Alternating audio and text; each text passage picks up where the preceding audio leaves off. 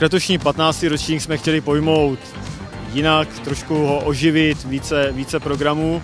Takže kromě toho, že se nám povedlo získat vládní Airbus na vyhlídkový let a vrtulník Mi-17, eh, tak jsme rozšířili i plochu, na které jsou, je to provodný program. Tento provodný program jsme rozšířili o šlapací letadílka, virtuální realitu, letadlové modely, které jsou podstatně větší, a i díky spolupráci například s Technologickým centrem jsme e, zorganizovali další zábavný program pro děti, hry, aktivity a tak dále.